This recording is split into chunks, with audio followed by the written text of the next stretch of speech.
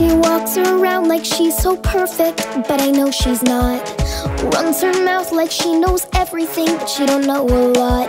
Pretends to be somebody else, and she never gets caught.